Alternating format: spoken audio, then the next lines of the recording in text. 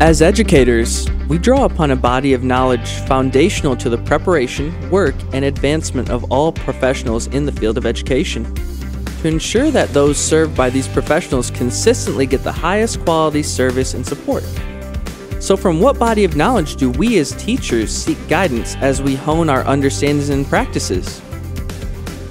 Where do we access the shared language and the accumulated wisdom and concepts that unify our profession?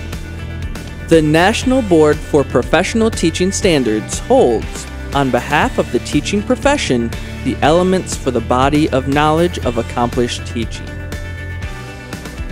Created and maintained by practicing teachers, this body of knowledge has four parts the five core propositions and commitments to the profession, advanced standards specific to the content and age level an architecture that depicts how all these interact in the classroom, and access to Atlas, an online library of cases showing board certified teachers in action.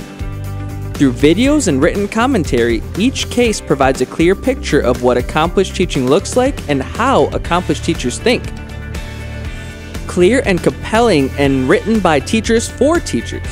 This body of knowledge can unify our profession, giving us common language to improve our practice and advocate for students and communities.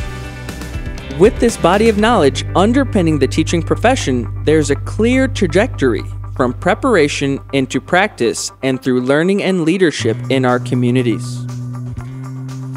And that those we serve consistently and equitably will get the support and service they so deserve.